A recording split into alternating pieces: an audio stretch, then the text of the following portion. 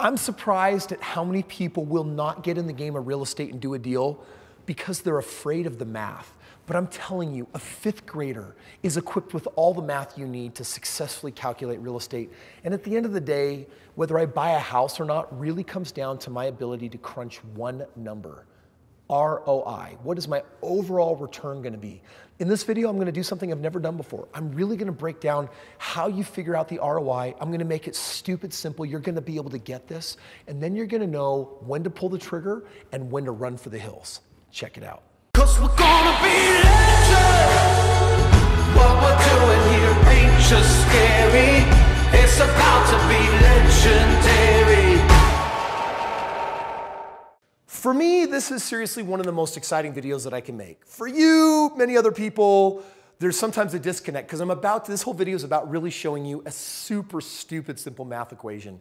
And you know what? You're coming to me all the time and you're saying, is this a good deal? How do I find a good deal? How will I know when I find a good deal? I'm like, well, there's just one little simple thing I do with a calculator to know. And I'm going to share that with you today. The whole idea of being able to generate an ROI is for you to know whether at the end of the day, the number is acceptable or is not acceptable. If it's not acceptable, you're not making enough money.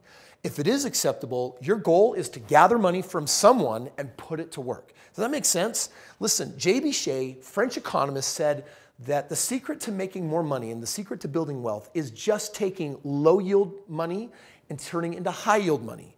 Like, for example, um, how many people are out there that have $100,000 sitting in a savings account earning less than 1% interest? That's like the dumbest thing that you could do with your money. Money is actually losing value at the rate of inflation, which is about 3% a year. So even though you're, you're earning 1 percentage of interest, you're really losing a net of 2% because it goes down 3% a year. Instead, it's like, wait a second, JB Shea, move money from low yield to high yield.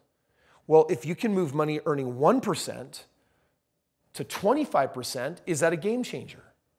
Yes, that's an incredible game changer. That's how you build wealth. But how do you know what percent you're actually earning? ROI stands for return on investment. And if you're watching this video and you're saying, okay, Kris, I like your videos when you're entertaining, I like the motivational stuff, I like it when I get excited, I like it when you show me the money, but you know what? The moment you show me math, I have a belief that I'm not good at math and I shut down. Don't do that. I'm showing you one simple equation. I know that you can figure this out, and I want you to understand ROI is the most important mathematical figure in the entire game of real estate. I make all of my decisions not on the color of the house, not the fancy hill that it sits on, not its potential. I make, at the end of the day, all of my decisions on one thing ROI, return on investment, which means I'm going to put money out, how much money is coming back. Now, before I show you the equation, just check out how simple this is. If I put out $10,000 and I'm earning 1% on my money, how much money am I making? You need to know how to do that. So, how do you know what 1%, if I'm going to make 1% a year on my $10,000, how much is that? Pull out your calculator and do this with me. Put the number of 10,000 in, that's 10000, and you're going to multiply it by 0.01%. So in multiplying a percent, you got to move it to the hundredth place. So you don't multiply it by one, it's 0.01 means 1%. And what do you get? A hundred bucks. So I put 10,000 out and the, at the end of the year, I'm getting $100 back. Is this a good investment or a bad investment? 1% is a horrible investment. But let's just say that we are getting back 10%. I would put in $10,000 and multiply it by 0.1. That, that means 10%. And what do I get? I'm going to get $1,000. 10% of 1,000 is $1,000. That is a better ROI. My goal is I always want to be double digit. That's my standard. Double digit means I'm earning 15, 20, 25, 30, 35% on my money. Um, and you can't do that with 401ks and IRAs and traditional lame investment thingies. Um, they're just not designed to do that. So if that's the simple math, then what's my ROI on a property?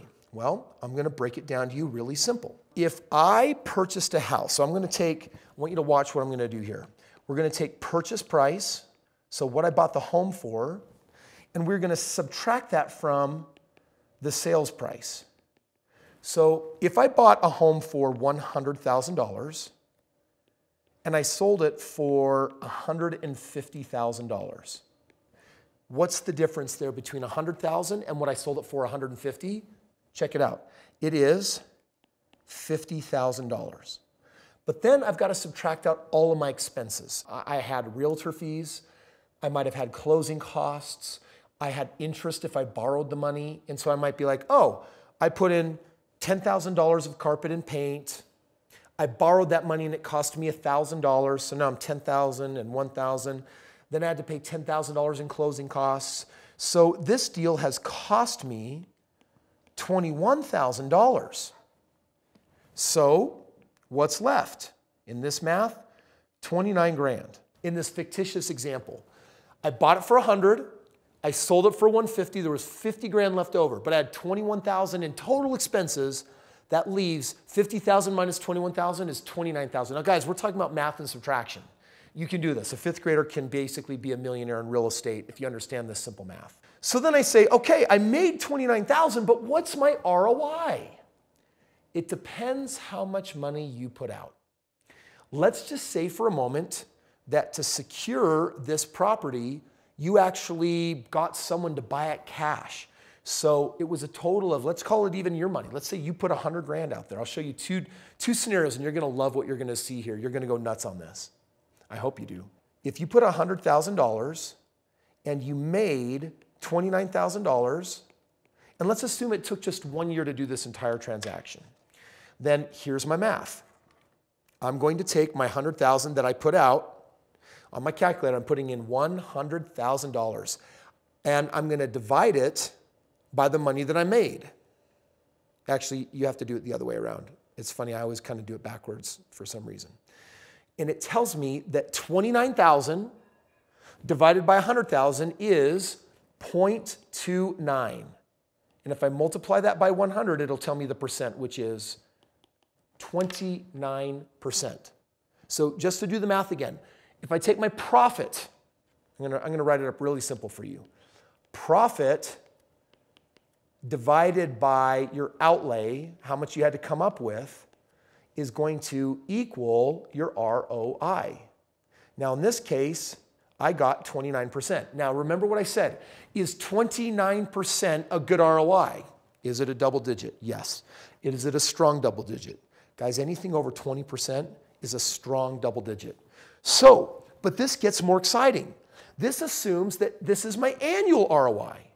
Now let's assume that I did this deal in six months, not 12 then I would actually take the number of 29 and I would multiply it by 2 because I did it in half the time. So 29 times 2, guess what? I actually annualized made a 58% return on my money. Let's say that I actually did it in 90 days. So I'm cutting it by a factor of 4. I would take 29, I would multiply it by 4, and guess what that is? That is a 116% ROI. That is no longer a double digit return, it is a what? It is a triple digit return. Now, I've saved the best for last. What I'm about to share with you is a little bit mind blowing. If any of the math went over your head, just rewind and watch it again. Repetition is the mother of all learning. So just repeat, repeat. You can repeat this same video. Here's what I want to share with you. What if you had a partner and the partner gave you the 100 grand to do the deal. And let's say that your profit was your $29,000. They put 100 out, you made 29, and then you got to split this 50 50.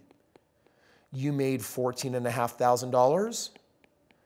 They made $14,500. Let's calculate their ROI and let's calculate your ROI. Why am I doing this? because I want you to know you don't have to have money to succeed in real estate. You have to have access to money. You don't have to possess the money, you have to have access to the money. Uh, if you can get this, this is how you become a multi, multi, multi millionaire. So please pay attention right here. Um, watch this.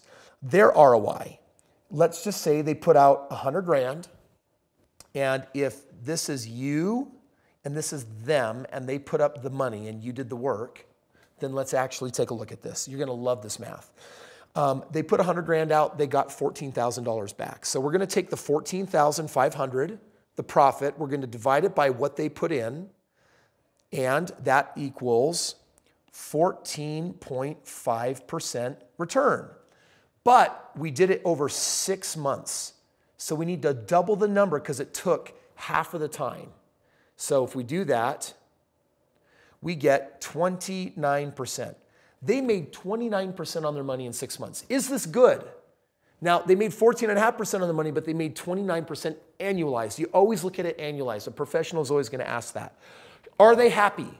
They will do more deals with you. They earned a double digit return. Trust me, they're going to do more. But now let's calculate your ROI.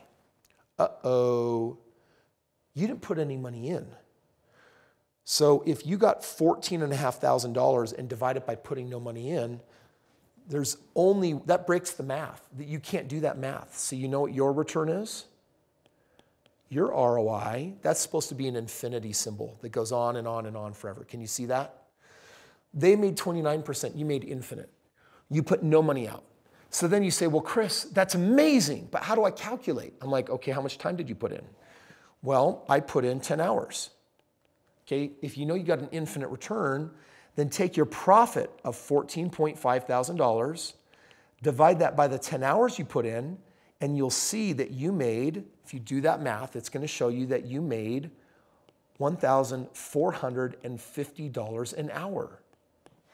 Have you ever had a job that paid you $1,450 an hour? I hope you're starting to understand why people love real estate so much. Now, what is the takeaway? What should you be getting from this? Here's the biggest idea that took me way too long to grasp, and I believe that you can grasp this right now. The singular biggest idea that I'm sharing with you is that your goal is to learn how to take someone else's money earning a low return and put it in a different opportunity earning a big return, and then get a piece of the action. That is the biggest takeaway of this video more than just calculating an ROI. Now, you need to know how to calculate that ROI. You can do the math with me. But your next step, I want to show you how I used somebody else's money to make myself $1.6 million in a four and a half year period of time. And it's coming up on this video over here. This will show you how I became financially free at such a young age. And now you can imagine the building that I'm in, the real estate that I've done, the hundreds of homes that I'm buying this year, it's all a byproduct of mastering the math and the information that I'm sharing with you right now. This is the game changer that you've been waiting for. So do me a favor, join me on this next video, watch exactly how I did it, and then copycat me. Do the exact same thing. And on that next video, it'll show you how to get a free copy of my book, The Straight Path to Real Estate Wealth, that literally weighs it all out. Now, I give you the book for free. I just ask that you cover the shipping. Uh, because I give this book away as long as I have it in stock. I give this book to uh, as many people as I possibly can. Thank you so much for watching today's video. I hope that it was meaningful and impactful for you. It's some of the most powerful knowledge that I can give you as a beginner investor to really understand how this whole game works. Um, if you liked it, it would mean the world to me if you would smash that like button. It tells the YouTube algorithm to share this video with other people and helps other people learn who I am and what I'm about. And my goal is real simple. I wanna have 10 million subscribers. I wanna help as many people as I can. And if you hit the like button, you're helping me out. Thank you so much for watching this. Join me on this video right now. You're gonna wanna watch it. It's gonna show you how I did it and how you can do it too. Take care, my friend.